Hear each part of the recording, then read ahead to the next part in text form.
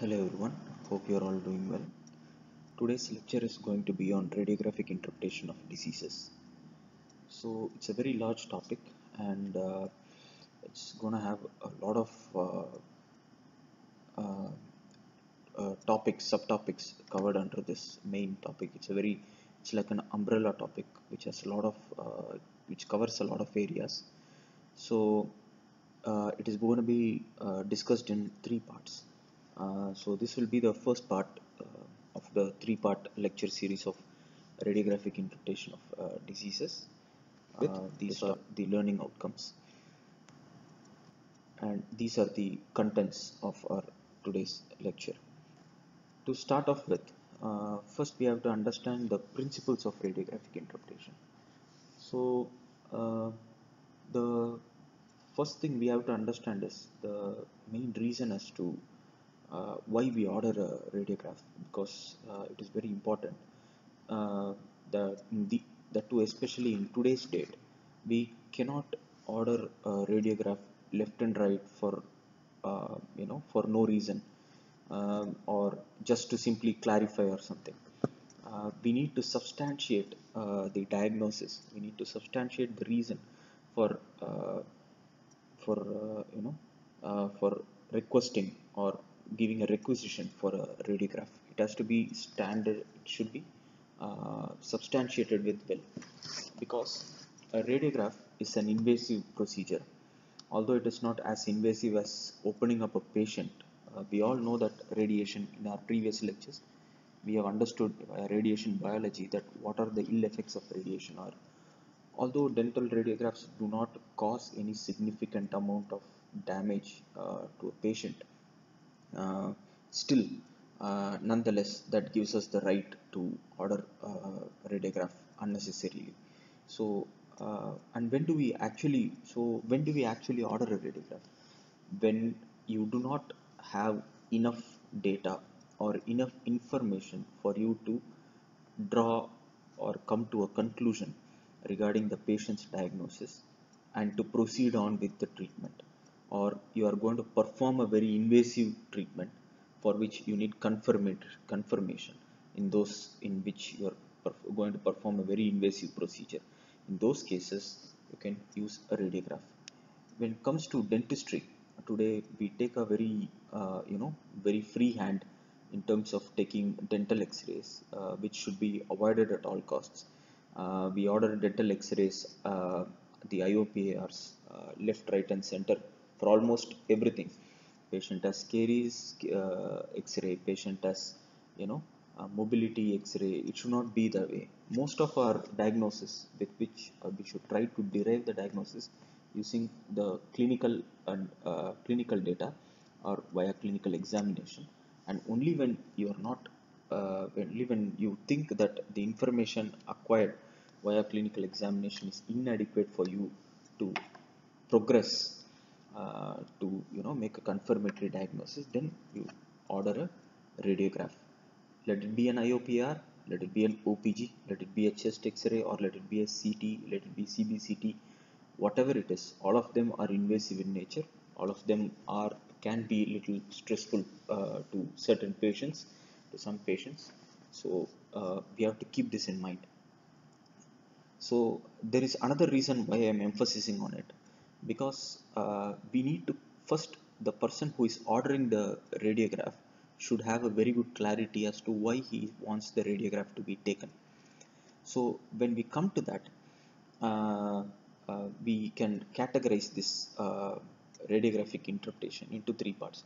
So once we decide on what is what we are trying to what we are trying to look for in the radiograph only then you will be able to make a proper selection of the type of radiograph let us say it is a very localized uh, problem in our case in oral and maxillofacial case. For example if it's a very localized problem then you ask for an IOPR if you think it needs a little more of coverage if you think it is just involving a section of the uh, maxilla or the mandible you can probably go for an occlusal radiograph or a partial orthopantomograph in today's digital radiography for all the patients you do not necessarily have to take a complete uh, OPG you can take a partial OPG also.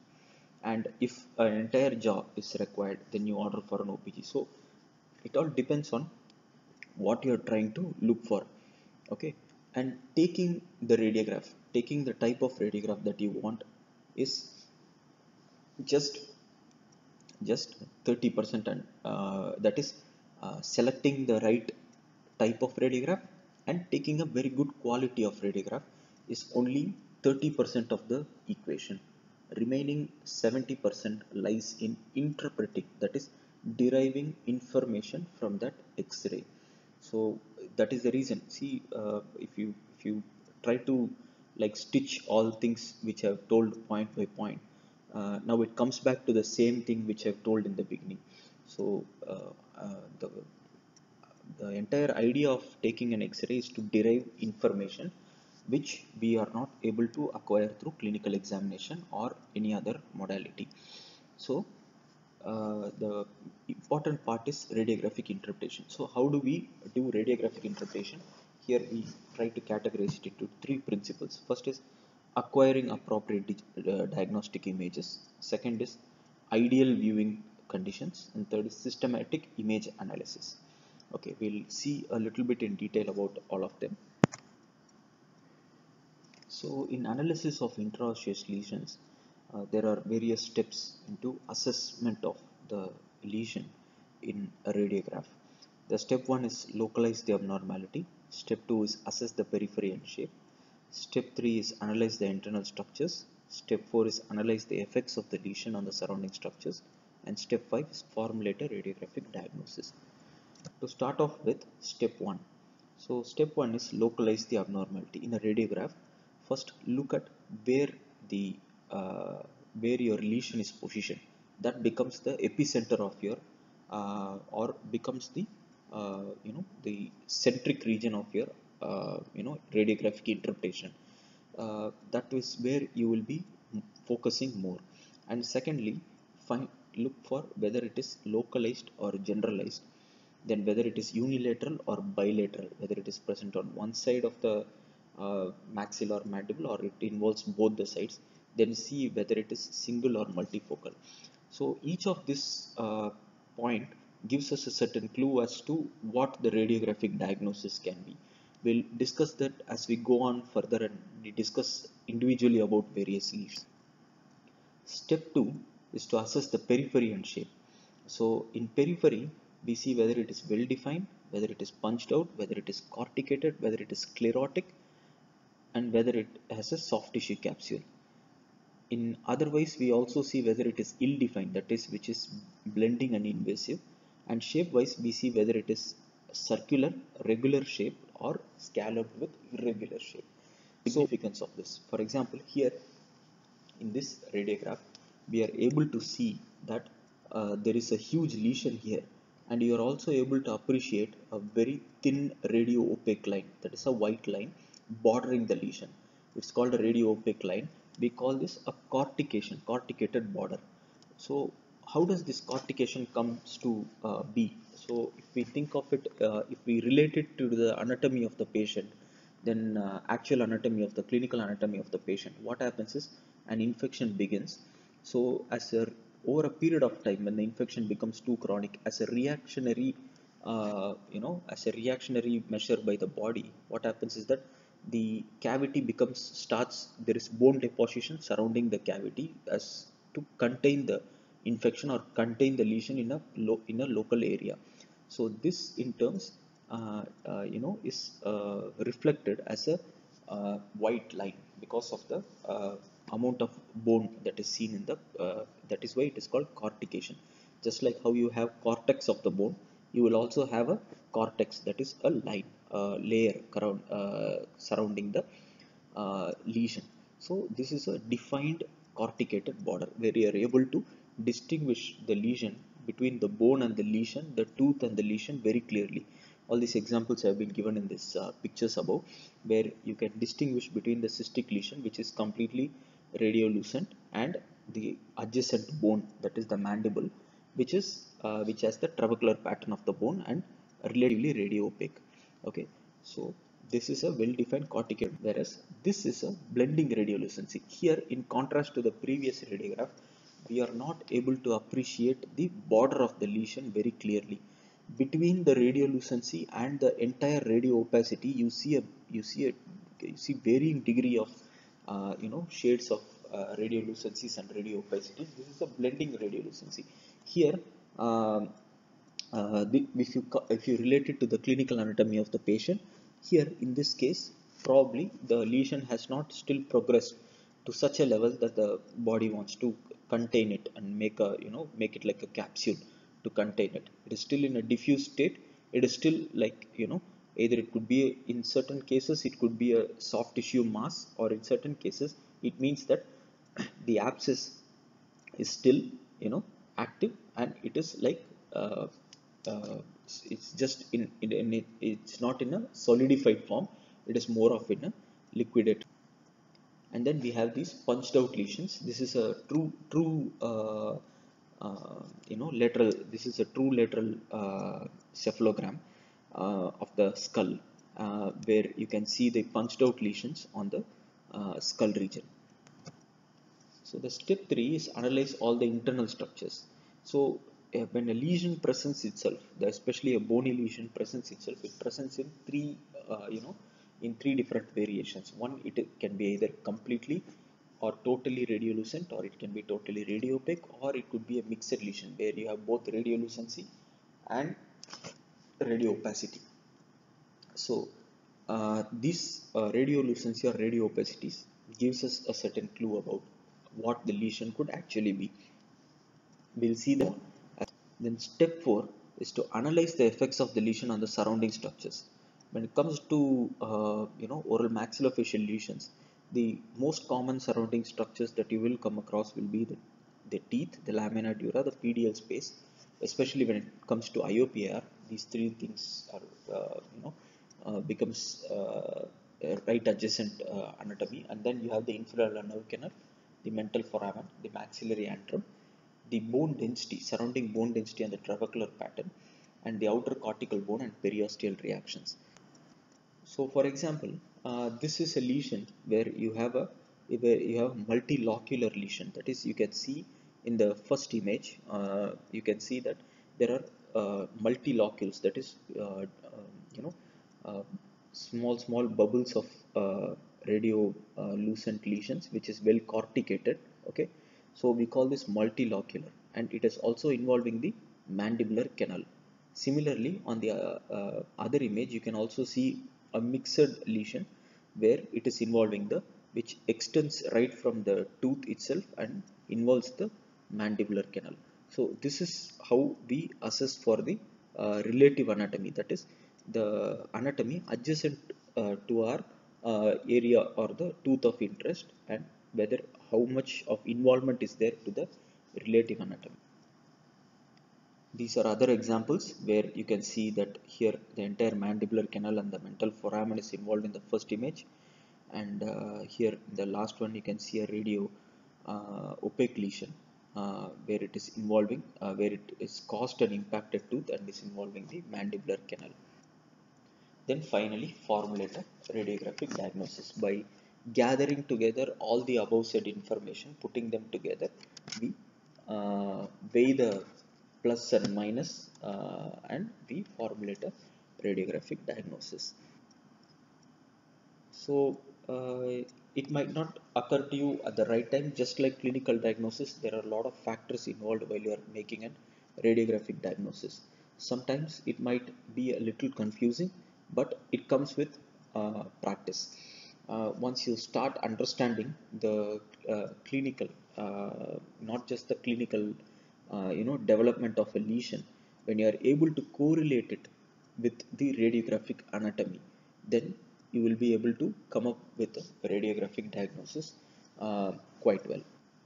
So, for us to understand abnormal, that is pathologies or lesions, we need to first know what is normal anatomy so for normal anatomy, we already saw there are certain adjacent structures that we have to keep in mind. So few of them uh, are give, are shown in this uh, radiographs here. Uh, in the first radiograph, you can see that it is the maxillary sinus or the maxillary antrum. You can see the lower border of the maxillary antrum, which runs almost, you know, uh, uh, close to the uh, periapical area of the tooth. It is almost involving the periapical. It is showing that it is involving the periapex of the tooth, but in reality it might uh, it might actually not. But this is due to superimposition effect, uh, maybe taken by bisecting angle. And the one you see on the top is the uh, shadow of the zygoma. And in the second one, you are able to see the foramen here uh, in the, the apex of the um, uh, lower lower incisors. In most of the cases, this foramen is missed out. Uh, you know, uh, because uh, sometimes it might not present itself at this size and you know this much of it might not be highlighted as this much. It will present as sometimes it might confuse you with the trabecula of the bone also sometimes.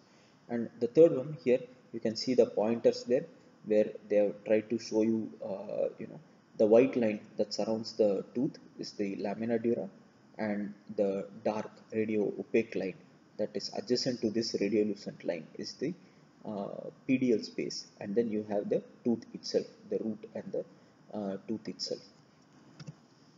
Then comes dental caries.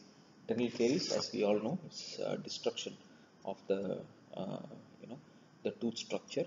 And uh, that is generally uh, manifested as a radiolucent lesion in the crown or root structure depending on whether it is enamel or dentinal caries or root caries. It, is manifested generally as a radiolucent lesion. In in deep caries in deep carious lesions or caries involving a major part of the tooth you can actually see a well defined radiolucency involving the crown or you will also able to be appreciate the loss of crown structure, partial loss of the crown structure while you're viewing the radiograph. But in many other cases, this radiograph that you see especially uh, is a bite-wing radiograph which is taken to assess the cervical caries. Uh, uh, so uh, that is interproximal caries. I'm sorry, interproximal caries. That is caries that occurs between two teeth, which might not get this much of you know, which might not be this much highlighted in the IOPAR so you try to put your focus mainly on the crown structure and try to view it. So dental caries here is generally manifested as a radiolucent lesion in the crown or root. Then there is deep caries involving the pulp. You can see in the molar region that a radiolucent lesion a diffused radiolucent lesion is almost involving the pulp chamber it's almost approximating the pulp chamber uh, in the first molar uh, this is radio uh, deep caries involving the pulp. This is secondary to the restoration that is already placed here in this. Moving on to periodontal diseases uh, and the limitations of the radiograph. So uh, in uh, periodontal diseases, the main thing that they assess. So if you want to, you know, split it department wise and you want to analyze radiographs, um, when it comes to endo or restorative uh, departments, you will be mostly looking at the tooth structure uh, rather than that of the surrounding structures. Whereas when it comes to periodontal periodontology, you will be more look you will be looking more at the surrounding structures rather than that of the tooth itself. Uh, because here, when you study periodont, uh, when you try to study the periodontium, the first clue of uh, any periodontal disease is first thing they look for is the level of the bone or the height of the bone. So in if you take the radiographic interpretation sheet that you use for uh, doing radiographic interpretation there are two things that will be asked about alveolar bone. First thing will be what is the height of the alveolar bone? So in that you have to talk about the bone loss. Bone loss can be uh, as we all already know bone loss can be you know horizontal vertical or sometimes it also can be angular uh, in nature. So this uh, you know definition of bone loss that is interpreted from the radiographs gives us the uh, you know gives us a clue about the extent of the uh, periodontal destruction that happens which usually can be assessed uh, clinically with the pocket depth measurement or unless or until you open up the ginger the flap and uh, you visualize you will not be able to see how deep the actual bone loss is and whether it is involving any furcation area. So these are things that are taken. The second important thing that is taken is the bone pattern trabecular bone pattern when it comes to alveolar bone. So here for periodont periodont uh, periodontology the most important part is the height of the alveolar bone so here in 2d image that is our general uh, there is overlapping of the overlapping of the bony defects and the radiographs show less severe bone destructions uh, in clinical uh, and compared to that of clinical correlation. So it is always important that we correlate the findings that is what we find clinically and uh, you know and also uh, radiographically and pockets cannot be seen in a radiograph. Pockets is pocket periodontal pocket is a clinical entity it cannot be seen in a radiograph IOPAR. So but what you can actually uh, appreciate in an IO, IOPAR is the deposits. For example, in this second radiograph along the uh, distal border of the second premolar, you can see a small projection that comes out in the cervical area. That is a calculus that is lodged between the two teeth. So in, in, in some cases, you will be able to appreciate the deposits, hard deposits that are, uh, you know, deposited deep within the tooth structure surrounding the cervical or the root areas, which is which which are considered to be local factors for periodontal bone destruction. So apart looking for horizontal, vertical and angular bone loss, you can also see the amount of deposits that are and to see the severity and extent of bone loss. And again, most importantly, clinical correlation is very important uh, when you make a diagnosis.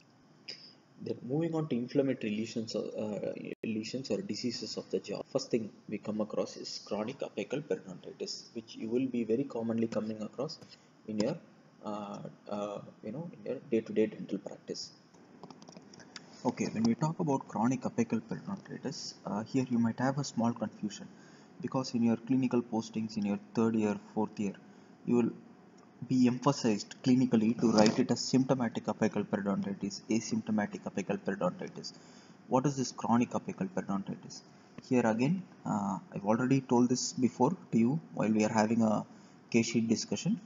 Um, here you have to remember what we are doing here is a radiographic diagnosis, not a clinical diagnosis.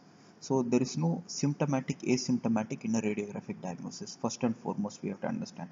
And secondly, when we derive a final diagnosis, we are trying to follow the uh, diagnosis that has been prescribed by the American Association of Endodontics. Uh, please do understand that there are two, uh, that OMR has its own diagnostic terminologies.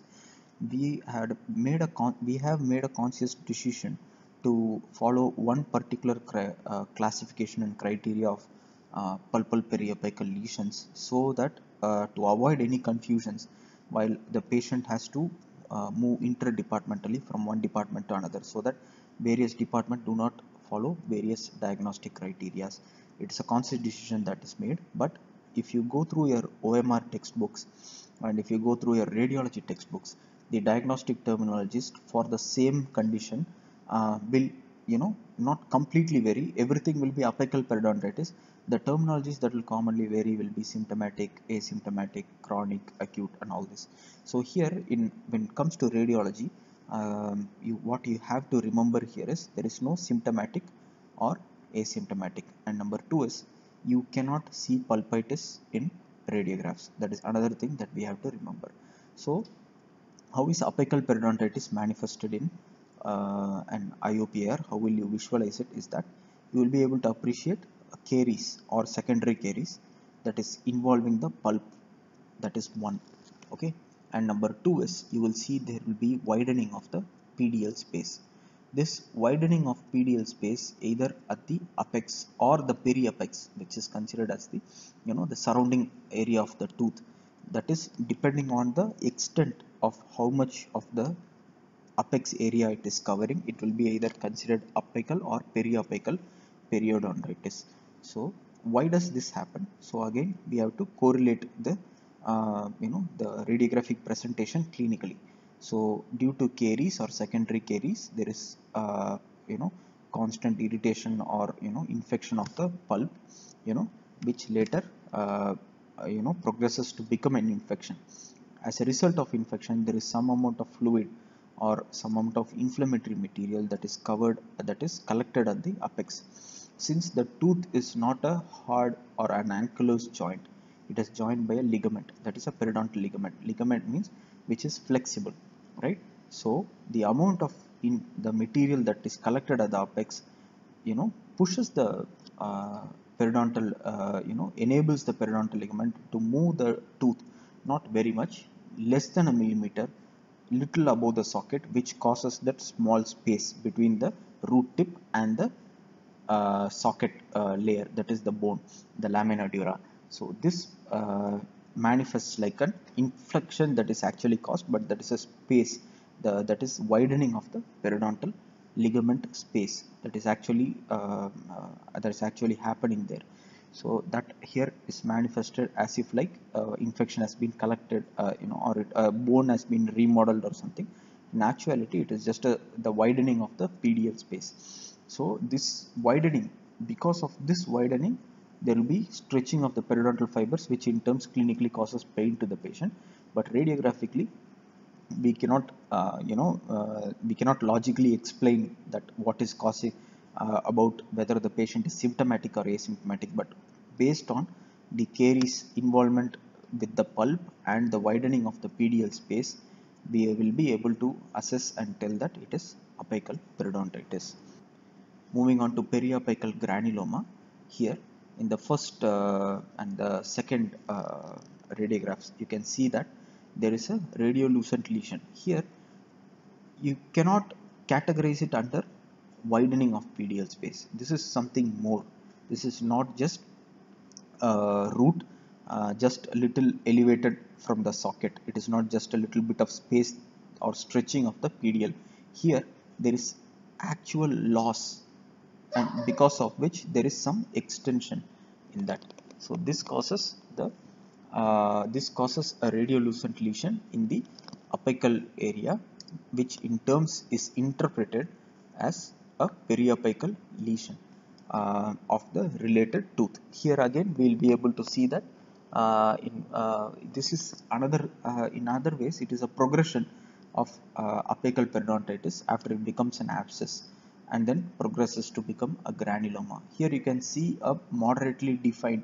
In some cases, you will be able to see a defined, that is not corticated uh, or a cystic type of a defined. You will be seeing a moderately or ill-defined uh, uh, defined radiolucency uh, at the apex of the tooth, and in uh, crown you will be able to see that uh, there will be caries involving the pulp or second then periapical cyst. Here, apart from the well-defined uh, radiolucency at the apex, you will be also be able to appreciate the corticated border that is which we discussed prior the you know the radio opaque line uh, that is surrounding or bordering the uh, radiolucent cavity that is the cystic cavity so then uh, for for for it even clinically if you are going to open up the patient and if you are going to do a biopsy for you to clinically categorize it as a cyst, you should be able to derive a cystic lining. You would have studied about it in pathology. Uh, in pathology, that you study the cystic lining. You remove the cystic lining and you study the cystic lining to differentiate and identify what type of cyst it is.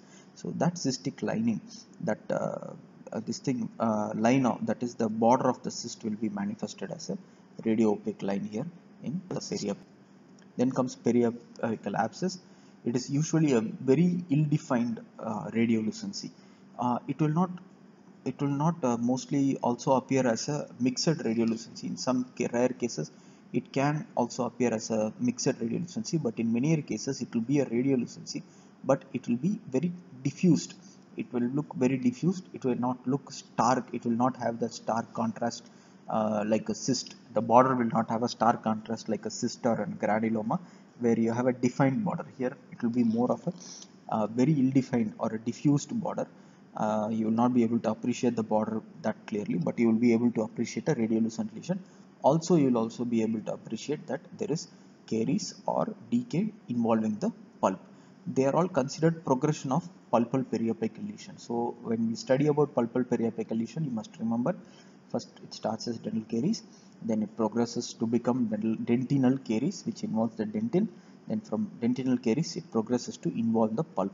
So when it starts irritating the pulp, this is where it becomes pulpitis. Uh, all of what I am telling is clinical, okay, uh, just for your understanding and correlation. so pulpitis so pulpitis can be symptomatic reversible irreversible that is based on the clinical scenario of the patient then from there what happens is the uh, constant irritation of the pulp and more and more involvement of microorganism the the activity of the microorganism then forms inflammatory process. During this time during this part of the time there are two things that can happen. One is the tooth might the pulp might become entirely or partially non-vital. But as the end of it what will happen is that there will be collection of inflammatory material at the apex which in terms of create widens the PDL space and manifests as a uh, widening PDL space widening in our radiograph then it progresses to become more. There is collection of more inflammatory material which results in periapical abscess where the infection is still not contained. You must understand this. Now this will try to find a uh, you know it will try to find an exit and it most of the time it will drain as a it will become as an intraoral or extraoral manifest as an intraoral or extraoral swelling clinically and sometimes it will drain out as a sinus. So this abscess will always try to find a way to come out. But sometimes uh, what will happen is that when the source of irritation starts going down or let us say the patient is taking some kind of an antibiotic or something to control the amount of activity of microorganism then what happens is the irritation is taken out but the material is still present. Then it progresses to solidify a little bit solidify. I'm not saying it will become a hard uh, lesion. It will become very soft tissue like uh, this pus which is liquid becomes a little bit tissue like thing which is a granuloma where it becomes a little defined but not enough to become a cyst. Then later as a measure to control this infection from not progressing anymore or causing more destruction to the bone there is a little bit of deposition surrounding the cavity it has created for itself uh, during the progression as in during while during the progression as a granuloma and this becomes a cyst. So this one you have to take and correlate it with the uh, radiograph that is the IOPA that you see. And to see which stage it belongs to that and how the borders will present itself uh, when you correlate you will understand it much better. Then there is rarefying sclerosing or condensing osteitis. This in term is totally different. This is nothing. This is a radio opaque lesion rather than that of a radiolucent lesion. They will be most commonly seen uh, in the uh, apical apical area of an existing of a pre-existing uh, you know periapical condition. Let us say the patient has previously had periapical abscess or a granuloma and it's been there for a long time. So body what it does is for as a mechanism to heal a cystic cavity or a, or a lesion what it does is first it will strengthen the borders it will contain it. Then it will start depositing more and more bone into the cavity thus converting it into a normal bone. This is one way of uh, killing and you know nullifying the entire uh, you know uh, lesion that is actually caused in a patient. So here what happens is the chronic uh, you know the chronic uh, lesion that is periapical lesion that is caused in the uh, person which you know uh, very commonly manifests as radio uh, lesion later due to this process of bone deposition over and over again in that particular area to you know minimize or to nullify the effects of this infection becomes appears as a thick radio opaque you know area or a island of tissue uh, on the uh, periapical uh, region of a tooth that has that shows signs of Uh, periapical infection uh, usually is condensing rarefying or sclerosing osteitis. The term sclerosing is given uh, where there is uh, you know wherever there is bone repair type of a bone repair going on uh, modulation or, or in the right word is where there is bone modulation uh, going on in that particular area. These are various terminologies that are used condensing and rarefying sclerosing Uh, depending on the degree of uh, radiopacy that you see. This is another example uh, where you can see uh, dense uh, radio opaque uh, lesion at the apex. Especially you can appreciate it in the second radiograph. You can see that there is secondary caries involving the pulp and you can see in the first molar distal root there is an active there is a radiolucent diffused or a mixed radiolucent lesion but on the beyond that you can see a dense island of radio-opaque lesion which generally manifests as a uh, sclerosing or uh, condensing. Then there is something called as an endoperio lesion. So what is an endoperio lesion? An endoperio lesion is when a tooth has both the components involved in it. That is, it has both the endo component and both the perio component. If you remember what I told you before, what the endodontist and the periodontist look for in a radiograph. So here, endodontists uh, will look for caries, caries related, uh, the sequel of the caries that is involving the tooth uh, because that is where their uh, forte of treatment basically majorly lies. Uh, even though they do periapical surgeries, uh, their and you know section of apicectomy and everything, but still their major this thing lies in uh, the tooth itself and for the periodontist is the bone, the alveolar crest. Whereas in endoperio lesion, it's a little challenging because there is both components, involvement of both components. That is, there is caries, caries involving pulp and the entire sequelae of that, that is abscess, progresses to abscess. Similarly, on the other hand, there is severe periodontium, that is periodontal destruction, that is bone loss, that is also contributing to that abscess. So, this since it contains both the components, it is classified as an endoperio lesion and it should it cannot be managed with just either an endo or just with a perio treatment. It has to be uh, multi it has to have a multidisciplinary approach. It has to be approached both the ways both by endo and perio. But in most of the cases most of the endo perio lesion cases majority of them at least uh, what we come across in clinics uh, to that when it has already gone to that stage uh, most of the time there will be furcation involvement that is bone loss in the furcation area as shown in this radiograph which becomes a little challenging for the endodontist to go on and do the root canal treatment for this particular patient because of a very poor prognosis. Most of the case times this ends up becoming an extraction rather than that. But when the bone is still sufficient enough, then it progresses with a combined endo and periodontal therapy with which we try to save the tooth. This is an example of hemisection where a patient has had an endo perio lesion and a part of the root which has both the which is contributing to both of them especially the distal root. You can see that there is also a broken instrument that lies within the uh, canal uh, of the root. So what they have done here is they have hemisected it. That is they have removed the distal portion of the root.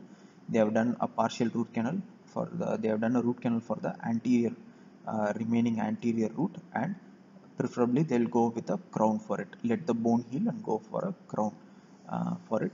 Uh, in some cases uh, when there is a multi-rooted tooth especially in the lower molars uh, which is uh, uh, you know mesial and distal you can this prop this procedure of hemisection is carried out if the conditions are favorable then there is periapical scar which is caused due to very severe infection uh, or recurring infections uh, that usually uh, shows as a you know um, lesion which almost resembles which might not have essentially a connection to the tooth but in close uh, you know proximity to the tooth surface uh, area then there is periostitis which is bone deposition uh, uh, and the bone condition. Uh, it could it could it could be due to various uh, reasons. Etiopathogenesis can be various in nature. And this is seen as deposition or, or layering of the bone.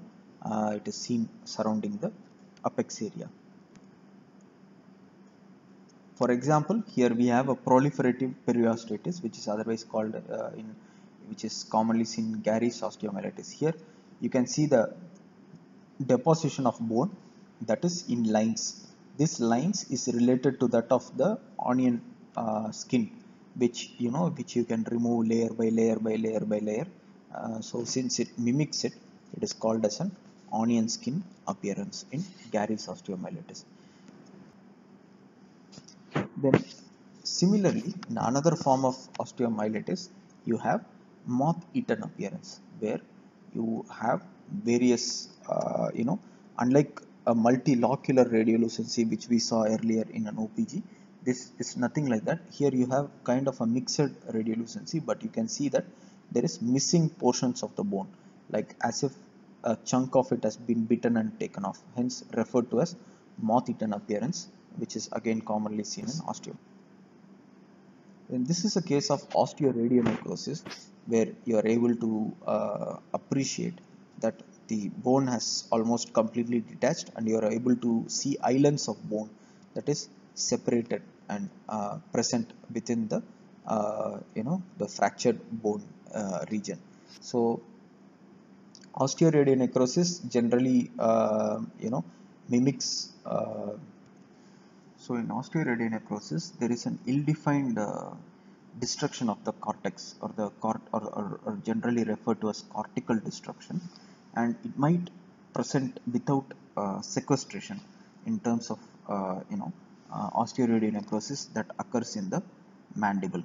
So when you uh, look into uh, you know when you look at osteoradionecrosis in various formats of uh, radiographic imaging that is the ill-defined cortical involvement you know with without sequestration is what you see in plain film radiograph in CT you might additionally see some interruptions and uh, loss of uh, trabeculations and uh, it might also show subtle fractures and uh, alterations in the bone uh, architecture. And uh, so in various types of imaging modality it is manifested or you get more uh, derive more information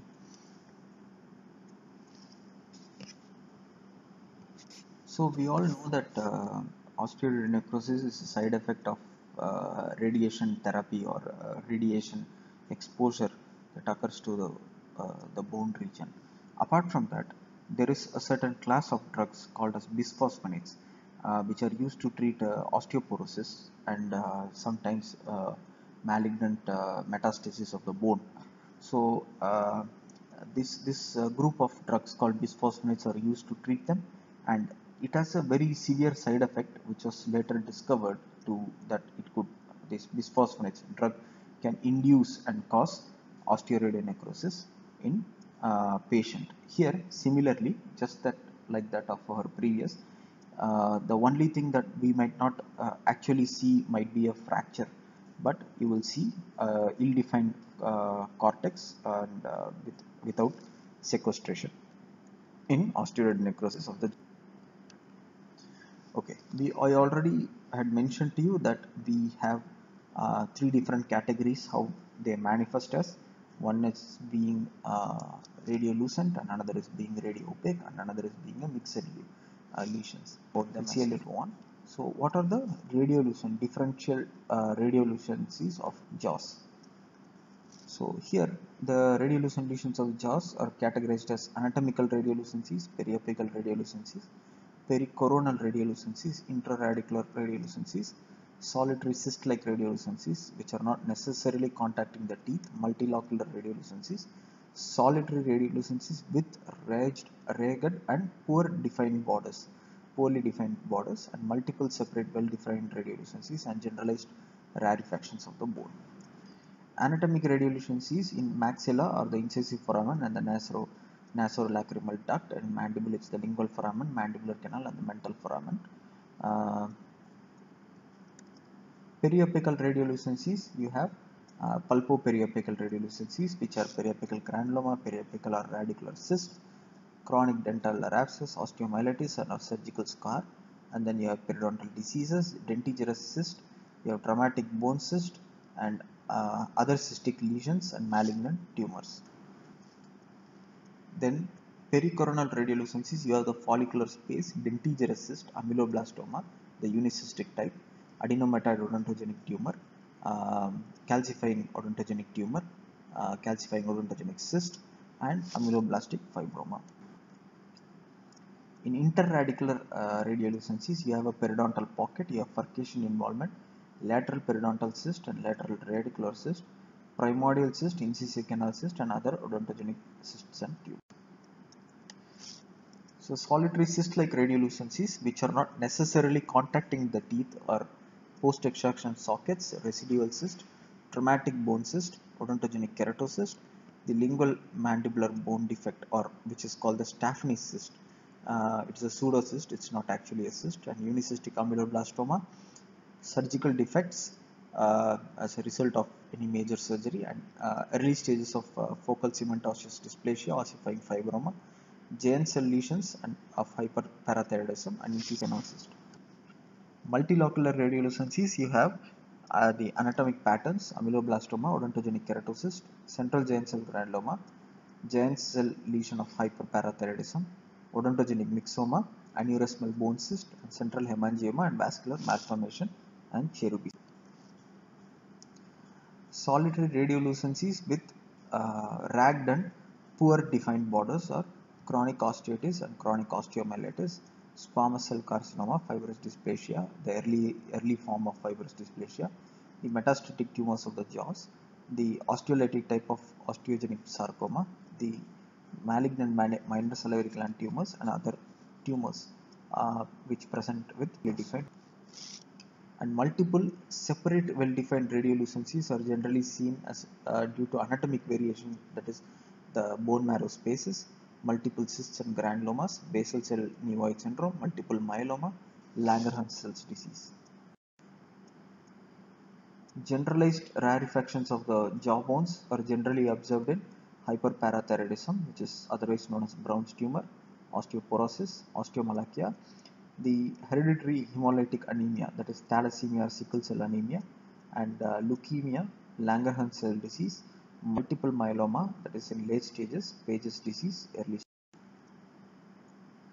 So what are the radio opacities of jaws? Uh, various uh, differential diagnoses of jaws.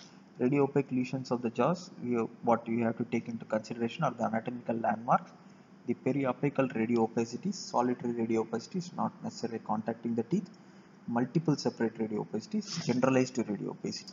So anatomical landmarks uh, or anatomical radiopacities generally are radiopacities common to both jaws or uh, radiopacities in maxilla, the zygomatic bone, the nasal spine, shadow of the nose, and the radiopacities in mandible or the mental ridge and mylohyoid ridge. And then there is superimposed radiopacities. And then we have true periapical radiopacities which are condensing and sclerosing osteitis which we discussed before. The periapical idiopathic osteosclerosis. This is a condition where you do not actually see the uh, osteo the uh, osteosclerosis uh, related to the tooth will not necessarily have a periapical lesion. Uh, so it is called an idiopathic osteosclerosis periapical cemental dysplasia unerupted su succedaneous tooth hypercementosis cementoma and foreign bodies. False periapical radiolucencies we have anatomic structures impacted supernumerary tooth odontomes tori, exostosis, retained root tips, foreign bodies, and ectopic calcium.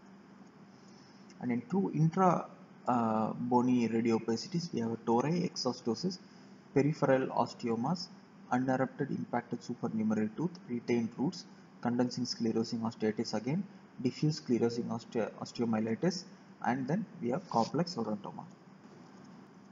Projected radiopacities, we have anatomic structures, foreign bodies, pathologic soft tissue masses and ectopic calcifications. Multiple separate radiopacities, we have the tori, exostosis, multiple retained roots, multiple periapical focal cemento-osseous dysplasia, we have multiple impacted teeth, then we have multiple calcified nodes. In generalized radiopacities, we have florid cemento-osseous dysplasia, Paget's disease, osteopetrosis, uh, Caffey's disease or infantile cortical hyperostosis, and mixed radiolucent and radio opaque lesions uh, which are associated with teeth or periapical mixed lesions or pericoronal mixed lesions which are not necessary.